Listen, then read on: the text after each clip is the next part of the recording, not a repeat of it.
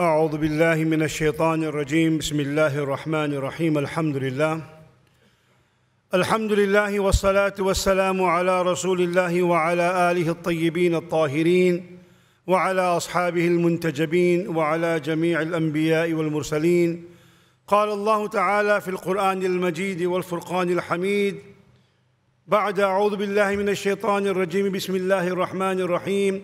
إذ قالت الملائكة يا مريم إن الله يبشرك بكلمة منه اسمه المسيح عيسى بن مريم وجيها في الدنيا والآخرة ومن المقربين صدق الله العلي العظيم In the name of Allah, most gracious, most merciful, all praise is due to our Creator, our Cherisher, our Nourisher, and our Sustainer. We bear witness there's none worthy of worship but Allah. We bear witness we believe in all the prophets who came in the great line of divine. And we bear witness that Prophet Muhammad ibn Abdullah, Rasulullah sallallahu alayhi wa alihi wa ashabi wa sallam, is the final of all the emissaries of Allah. Respected ulama, huffaz, brothers and sisters, respected elders, respected youth, I greet you with the Islamic universal greeting of peace at this auspicious time of Jum'ah in this most magnificent masjid, in this most beautiful city in the world, السلام عليكم ورحمة الله تعالى وبركاته The main theme for today inshallah is the phenomenal spiritual lessons and moral lessons we can learn from the life of Isa and Maryam, Jesus the son of Mary, peace be upon both of them. However, I want to preface the first part of my talk by bringing to attention the reasons why some of us are not able to fully appreciate the lessons that we could learn from others. And very often, this is due to our misperceptions. Studies in behavioral science have shown that we don't see things as they are, we see things as we are. Those who are negative, they see the world through a negative lens. So we see things as we are, and our perception becomes our reality. And if our perception is wrong, our understanding is wrong. You see, if you wear green tinted glasses, the world appears green to you, not because the world is green, but because the frame through which you're looking is green. And therefore, it becomes harder for a person to expect or accept another perspective and appreciate a different shade of meaning. And this is mainly due very often to the human tendency to what we call confirmatory biases.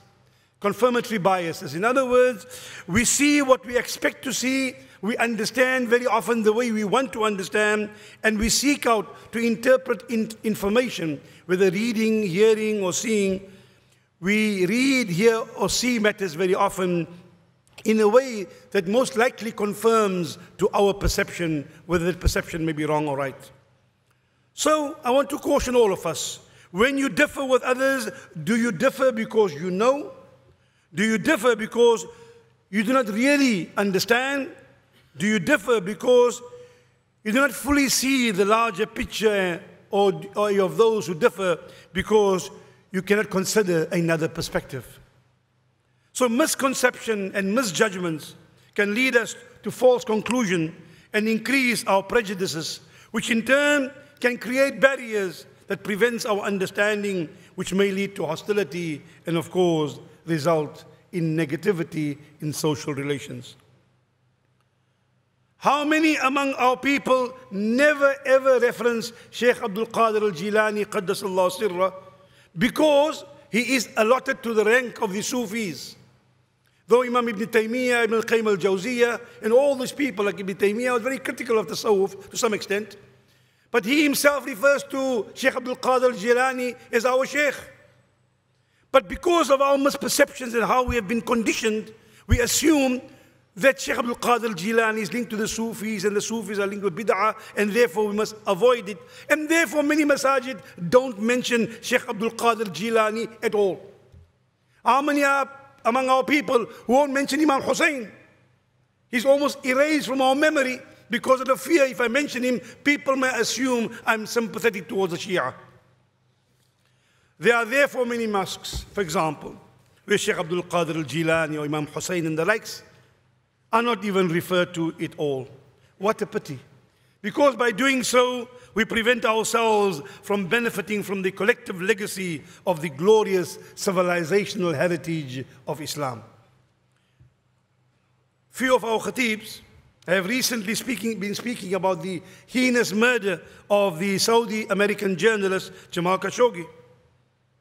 Not because people support his views or identify with his political affiliation, because don't forget, he is a pro Saudi monarchist. He's not anti monarchy, but he just backed the wrong prince.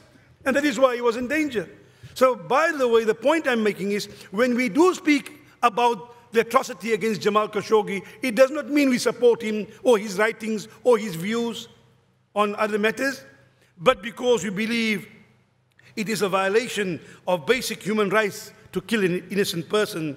And as people of conscience, we also need to protect the right of those who broadcast news and convey facts, as well as the right of people, whoever they are and wherever they may be, that their rights and their lives be protected in any government office anywhere in the world. So by saying something about Jamal Khashoggi doesn't mean support, supporting his view. Quoting Abdul Qadir al-Jilani doesn't make you bid'ati. Quoting Imam Ibn Taymiyyah doesn't make you a Salafi or a Wahhabi or whatever it may be. Quote Imam Hussein doesn't make you a Sunni or a Shi'i. Now, if we speak glowingly about Isa, about Jesus, peace be upon him, some people assume that you are apologists for Christians or that you are trying to compromise your principles to promote an interfaith agenda. This again is misperception and false judgment. So, I urge you and myself, let us check our perceptions before we make any judgments. Can we commit ourselves to that, inshallah? Now to the main theme of the Jum'ah. Today, in highlighting the life example of Isa alayhi salam, of Jesus, peace be upon him, we are calling to attention the moral values and the outstanding spiritual character of this mighty messenger of Allah. Whether Jesus was born on the 11th of September, according to some people, or according to Orthodox Christians, the 7th of January, or as most Christians celebrate this week, 25th of December, my focus is not about that. Though there's a lot of talk about him at this time of the year, my focus is on the phenomenal spiritual, moral, altruistic lessons we can learn from the zuhud and the tabi'at al-ta'atuf, from the simple spiritual lifestyle of Isa and from his empathic nature. Isa ibn Maryam, Jesus the son of Mary, peace be upon him, peace be upon both of them. They both hold an exalted position in Islam. In fact, among the honorable titles by which Isa alayhi salam is directly referenced in the Quran, Kalimatullah, the word of Allah, Ruhum min Allah, spirit from Allah, Ayatul linnas, a positive sign or a symbol for humanity. Rahmatan minna, a mercy from Allah. Minas salihin, of the righteous. Nabi, um, a prophet of Allah. Rasulullah, a messenger of Allah. Masih, the only Messiah. Wajihan fi dunya wal akhirah. Eminent and distinguished in this world as well as in the hereafter. But about this Isa alayhi salam, I want to focus specifically more today on his zuhud. And zuhud resides in the heart and is practiced by ridding the heart of enslavement, of the unwarranted desires, and the over attentiveness to those things that are temporary. Zuhud entails abandoning to some extent whatever of this world does not bring about a degree of benefit for us in the hereafter. Ibn al-Qayyim al-Jawziyah rahimahullah in his book Kitab al-Fawaid said أصعب الزهد في الحظوظ القلب المعلق بالشهوات لا يصح له زهد ولا ورع He says the most difficult form of this spiritual asceticism if you wish of this simplicity of spiritual lifestyle is overcoming one's base and lowly desires. The heart, which is preoccupied with vain desires, is inappropriate for both spiritual piety as well as taqwa and goodness. So, zuhud is a quality that is embedded in the character of the righteous. and means that you're, you are more attentive and more certain in what Allah has for you than what you have in your hands.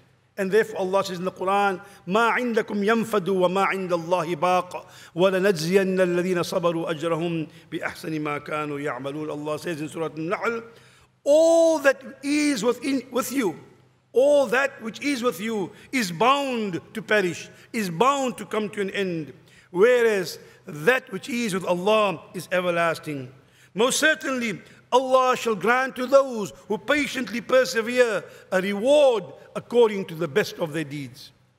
Prophet Muhammad sallallahu alayhi wa alihi wasallam said, hadith documented in Shu'b al-Iman of Imam al-Bayhaqi, he said, إذا أراد الله بعبد خيرا زهده في الدنيا وفقهه في الدين وبصره عيوبه. When Allah desires goodness for a servant, for a person, He grants that person the capacity for simplicity of living, for abstention from materialism. He grants him the understanding of religion and he grants him or her insight into his or her, or her own faults. And therefore the Rasul encouraged, Uzhud fi dunya, make zuhud from the dunya. But making zuhud from the dunya doesn't imply disregard for this world. Rather, it's an awareness of the temporary nature, the transient nature of the world and the material things which are insignificant in relation to the permanence of that which Allah subhanahu wa ta'ala promised. So let's reflect on some incidences in the life of Nabi Isa alayhi salam. And much of the information has been taken from Ibn Asakir, the historian Muhaddith, from Allama ibn Kathir, as well as from the Musnad of Imam Ahmad ibn Hanbal. Isa alayhi salam is the personification of a real Zahid. If ever there was what I perceive to be a true Arif, a true Sufi, if you want, then Isa alayhi salam is the embodiment of that. Hassan al-Basri radiallahu anhu, rahmatullahi alayhi said, Inna Isa ra'su zahidina yawm al-qiyamah. Hassan al-Basri, he said, Isa alayhi salam will be the head or the leader of the zahideen, of those who make zuhud on the day of judgment.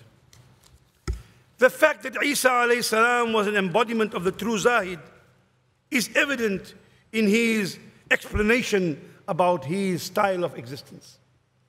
It is documented that one, Ibn Asakir documents, once he spoke to his people and he said, explaining who he is and clarifying his position to them. He said, أنا الذي أنزلت الدنيا منزلتها بإذن الله ولا عجب ولا فخر أتدرون أين بيتي؟ قال أين بيتك يا روح الله The Messiah said, I have been positioned on earth with a particular status, and there's neither pompousness or arrogance in what I'm saying. Do you know where I live? They said, Where do you live? Where is your home? Oh, Ruhullah. He said, بيتي المساجد وطيبي الماء وإدامي الجوع وسراجي القمر بالليل وصلاتي في الشتاء مشارق الشمس وريحاني بقول الأرض ولباسي الصوف وشعاري خوف رب العزة وَجُلَسَاءِ الزَّمَنِ وَالْمَسَاكِينَ He replied, My home is any place of worship. My perfume is the water I drink. Hunger is the flavoring of my food. The more hungry I am, the more nice the food tastes, as we know. Hunger is the flavoring of my food. My feet are my transport. My lamp by night is the moon. By day is the sunlight. My blanket in winter is the rising of the sun from the east. My food is basic. My fruit and flowers are whatever grows from the earth. My garment is wool. My motto is having fear of displeasing Allah. And I accompany the sick and I visit the poor. أصبح وليس لي شيئا وأمسي وليس لي شيئا فمن أغنى مني وأربح I sleep while I have nothing. I wake up in the morning and I have nothing. And there's no one on earth wealthier than I. Reflections of a Zahid manifested in so many dimensions of his exceptional life. We witness his social engagement, where he said, إن أحببتم أن تكونوا أصفياء الله ونور بني آدم من خلقه If you wish to be loved and to be of the pure ones in the estimation of Allah and to be a source of light for humanity, he said, فَاعْفُوا عَمَّنْ ظَلَبَكُمْ وعودوا من لا يعودكم وأحسنوا إلى من لا يحسن إليكم وأقرضوا من لا يجزيكم he says, then pardon those who wrong you. Visit those who do not visit you. Do good to those who may not do good to you. And assist and give credit even to those who may not give credit to you or assist you. And therefore, Ibn Asakir further documents Isa alayhi salam reminded us about this notion of the golden rule of loving for others and doing for others in a selfless manner. Isa alayhi salam is reported to have said, is also documented in the Musnad of Imam Ahmad ibn Hanbal. He said, ليس الإحسان أن تحسن إلى من أحسن إليك تلك مكافأة. Virtuous action, good action, does not mean you do good to someone who has done good to you, because that is just returning a favor. Doing good to those who have done good to you is returning a favor. إنما الإحسان أن تحسن إلى من أساء إليك. Good, virtuous action consists in doing good to those who may not do good to you. He advised his companions and those around him about what qualifies them to be his companions. He said, In kuntum ikhwani wa ashabi, if you want to be my brothers and my companions, فَوَطِّنُوا أَنفُسَكُمْ عَلَى الْعَدَاوَةِ وَالْبَغْضَاءِ مِنَ النَّاسِ If you truly want to be my brothers and my companions, then condition yourself against animosity towards people and avoid hurting or harming or hating people. He also reminded us of the correlation between humility and social welfare. Sometimes we live exclusive life. We pray, but we don't help the poor. The correlation between humility and social welfare. He said, كما تواضعون كذلك ترفعون. As you humble yourself, so will Allah elevate you. Your humility is the standard of your elevation. وكما ترحمون كذلك ترحمون وكذلك ترحمون كما ترحمون and as you show mercy so shall mercy be shown to you وكما تقضون من حوائج الناس كذلك يقضي الله من حوائجكم and as you strive to meet the needs of people Allah will come to your assistance to aid you he also emphasized divine consciousness with soft-heartedness Not a degree of piety that makes him aloof from people or self righteous, rather, divine consciousness and soft heartedness. He said in a hadith, documented in the Muwatta of Imam Malik, by the way, لا تكثروا الحديث بغير ذكر الله فتقسوا قلوبكم فإن القلب القاسية بعيد من الله ولكن لا تعلمون ولا تنظروا في ذنوب العباد كأنكم أرباب وانظروا فيها كأنكم عبيد Do not speak much without remembering Allah. Because if you forget Allah and only speak, the chances are that you tend to harden your heart. And surely a hardened heart is distant from Allah.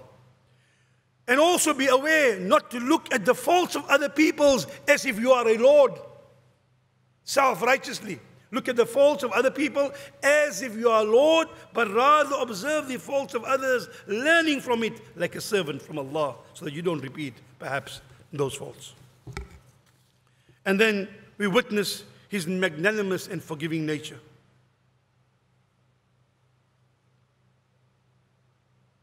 بلغني أن عيسى ابن مريم مر بقوم فشتموه فقال خيرا ومر بآخرين فشتموه وزاده فشتموه وزادوا فزادهم خيرا Isa alayhi salam, the disciples, Hawariyin, they said that Isa passed by a group of people and they insulted him and he wished them well.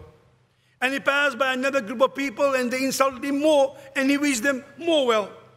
So one of the Hawariyin, one of his disciples and companions said, فقال رجل من الحواريين كلما زادوك شرا زدتهم خيرا the more the people do bad things to you and say bad things to you, the more good things you say to them. فقال عيسى ابن مريم كل إنسان يعطي ما عنده Each one gives what they have. They give what they have. I give what I have. They have animosity and hatred. I have love and compassion. There's a tribute capturing the daily living of Isa alayhi salam. And Ka'b al-Ahbar, one of the tabi'een, and uh, one of the companion of the companions of the Prophet ﷺ, and this tabi' about whom scholars differ, nonetheless captured the estimation of Isa ibn Maryam in the following words, and we take wisdom from what was said.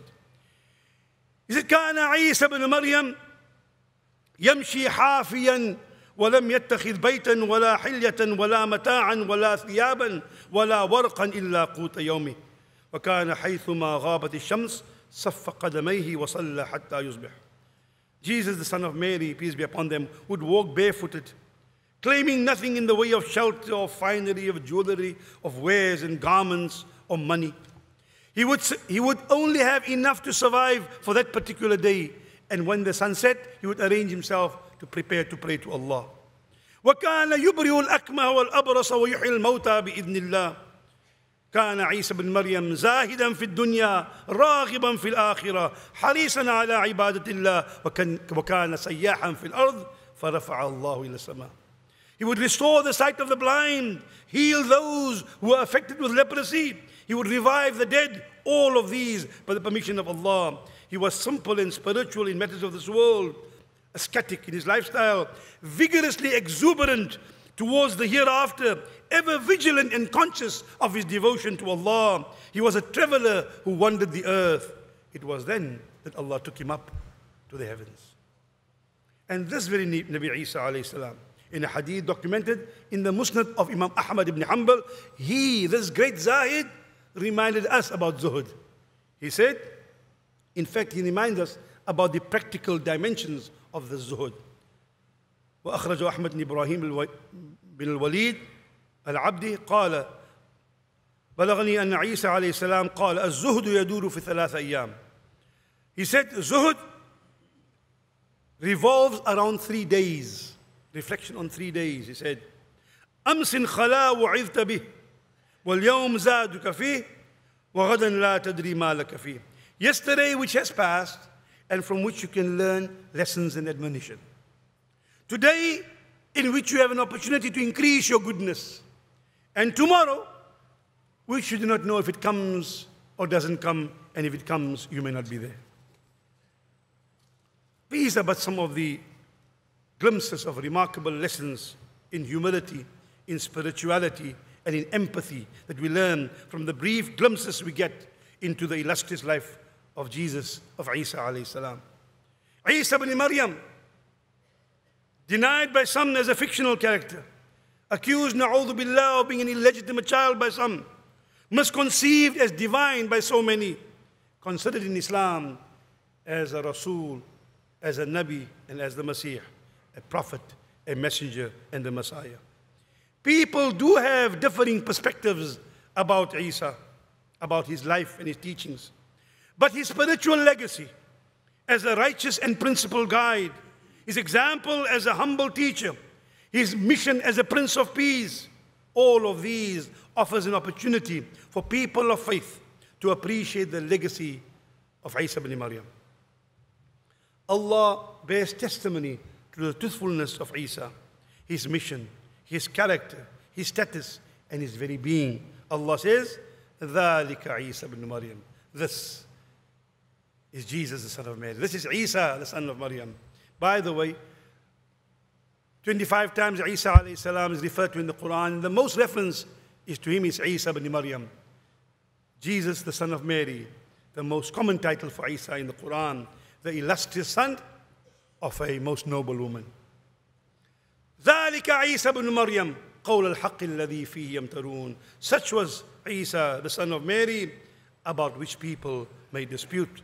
But وجيها في الدنيا والآخرة ومن المقربين. He was eminent, having tremendous honor and dignity in this world and in the hereafter, and of those near to Allah the Almighty.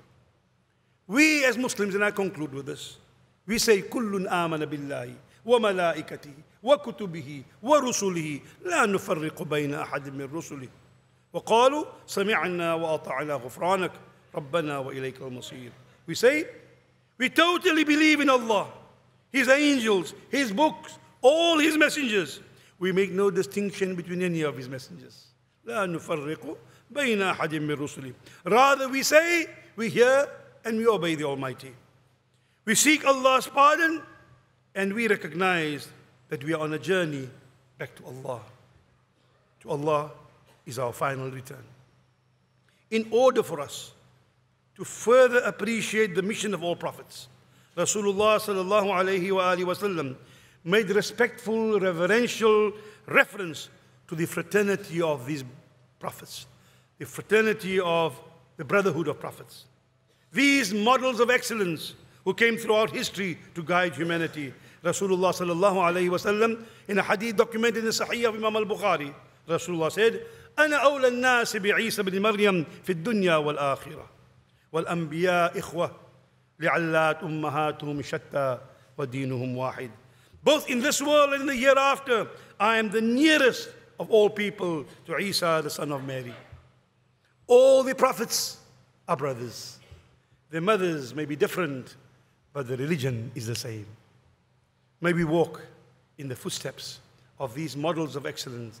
May we walk in the footsteps of the messengers of Allah. أقول قولي هذا وأستغفر الله والسلام عليكم